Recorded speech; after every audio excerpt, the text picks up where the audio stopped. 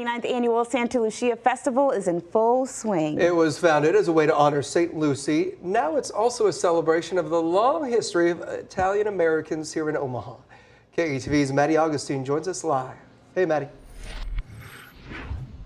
The night is in full swing here in Little Italy with live music, delicious food, and even a bocce ball tournament. The people just keep joining the celebration. Those close to the festival tell me that this is more than a weekend of fun.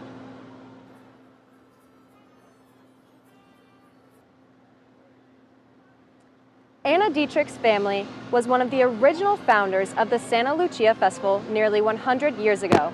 She says it was something she always looked forward to. And now she helps ensure the festival honors those traditions every year because she knows the importance behind it all just the history of it and um, our families, um, they worked really hard. They came here with nothing. And I, I wish they could see what we, what we have continued right now. Rich with history, the festival continues through Sunday night with more food, music, and a processional through Little Italy. And is completely free for everyone. A full event schedule can be found at santaluciafestival.com.